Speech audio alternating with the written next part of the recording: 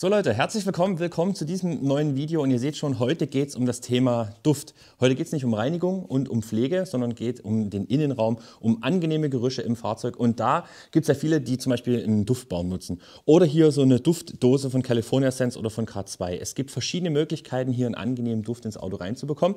Wichtig, was man gleich von herein sagen muss, alle Innenraumdüfte sind keine Geruchsneutralisierer. Das heißt, wenn ihr irgendwas im Innenraum drin habt, was halt einen unangenehmen Geruch erzeugt, irgendwas äh, schimmelt oder ist was ausgelaufen von der Flasche, dann braucht ihr auch nicht mit sowas hier anfangen. Immer erst die negative Geruchsquelle beseitigen. Und wenn es der Beifahrer ist, dann muss der Beifahrer halt raus und dann habt ihr auch wieder im Anschluss einen vernünftigen Duft im Auto. Deswegen hier mal eine kleine Vorstellung und wir schauen uns mal an, was es so für Arten von Düfte gibt und wir testen auch gemeinsam welche. Und die Steffi ist nämlich noch mit ihrem Seat Leon hier und sie wird auch ein Produkt für uns hier in den Langzeittest nehmen und immer berichten und dann werden wir gemeinsam für euch ein Fazit sozusagen kreieren, um euch ein Feedback zu geben, was ist denn am am besten für euch geeignet. Und jetzt schauen wir uns erstmal die verschiedenen Arten an. Los geht's.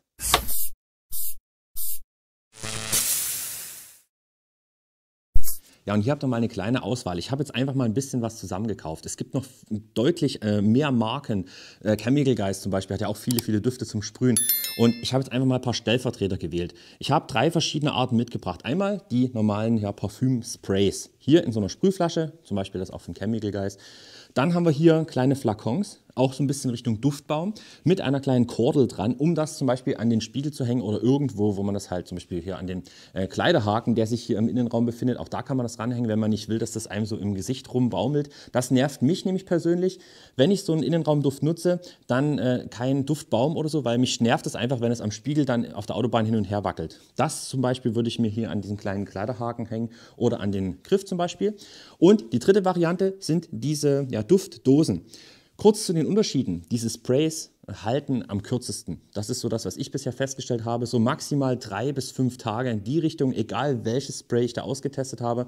Das zähle ich richtig als äh, Parfüm. Das äh, sprüht man im Auto einfach mal breit und wenn man halt viele verschiedene Düfte austesten will, ist das eigentlich das Sinnvollste, weil man halt schnell auch äh, mal den Duft wechseln kann.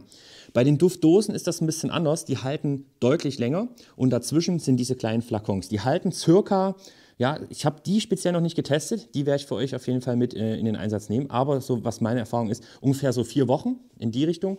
Und diese Dosen halten deutlich länger, zwei bis drei Monate und teilweise noch länger, wenn ihr die auch noch mal ein bisschen anfeuchtet. Vor allen Dingen, wenn die vom äh, Geruchsintensitätslevel nachlassen, einfach mal hier vier, fünf Tropfen Wasser rein und dann noch mal kurz etwas schütteln. Dann saugt sich dieser Schwamm, der hier drin ist, mit dem Duftstoff wieder mit Feuchtigkeit voll und bringt locker noch mal zwei bis drei Wochen mehr Duft. Also kleiner Tipp an der Stelle, nicht gleich wegschmeißen, wenn die nicht mehr duften, bisschen Wasser rein.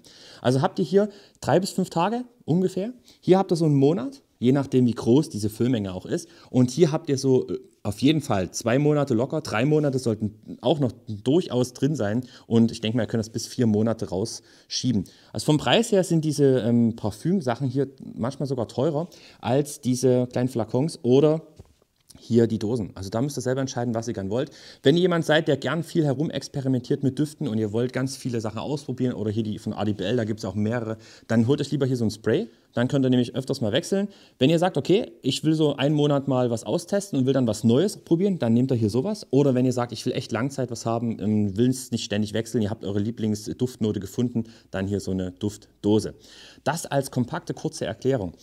Steffi hat sich entschieden, steht neben der Kamera, für so eine Dose. Ich glaube, du wolltest ähm, die Kirschvariante, das müsste hier die hier unten sein, die stellen wir jetzt bei äh, Steffi ins Auto rein und ich werde dann hier ein Auto bei mir noch bestücken und zwar hier mit so einem K2-Duft und dann können wir euch dann im nächsten Video, im Teil 2, ein Feedback geben, wie lange hat das gehalten, wie stark ist der Duft und da fangen wir jetzt mal an und stellen mal hier eine Dose bei Steffi ins Auto rein und ich zeige euch nochmal, worauf es halt ankommt, wenn ihr sowas auch hier in den Einsatz nehmt.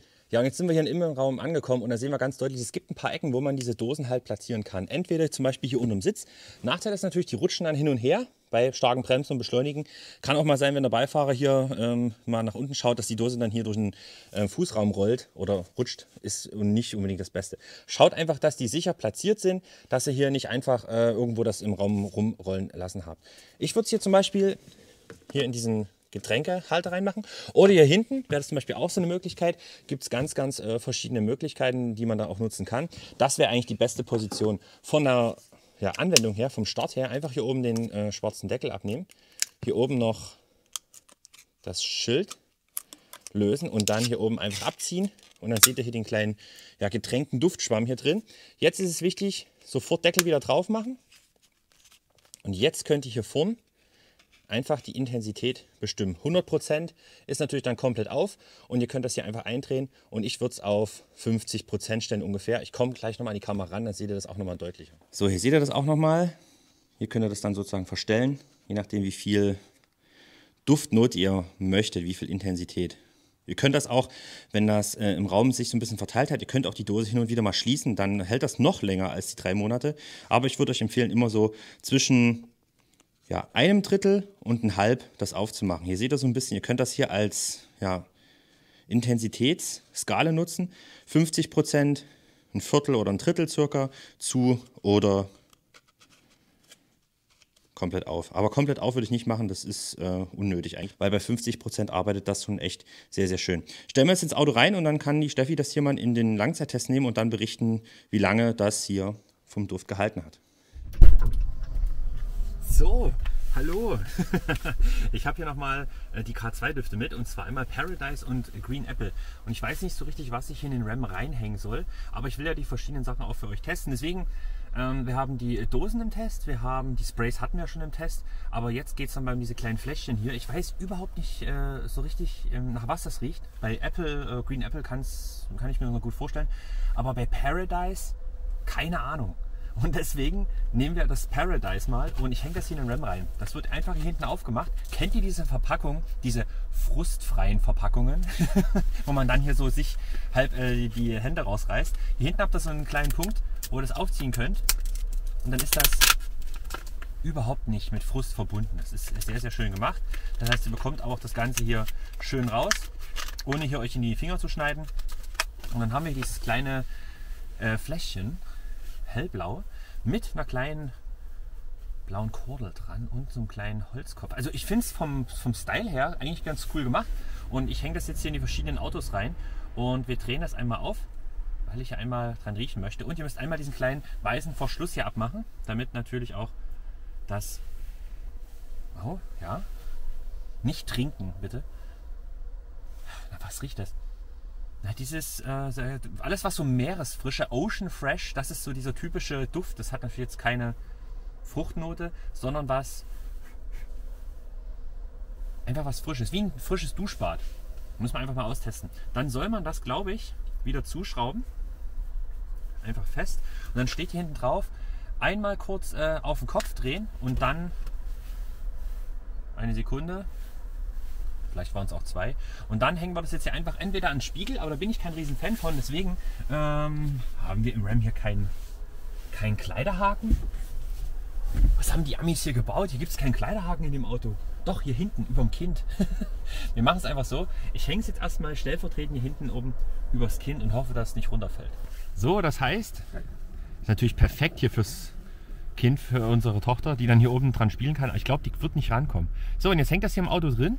Und äh, jetzt werde ich euch mal so ein bisschen in den nächsten Tagen ein Update geben, wie das duftet und beziehungsweise wie lange das auch hält. Also das jetzt hier auch fest verschlossen.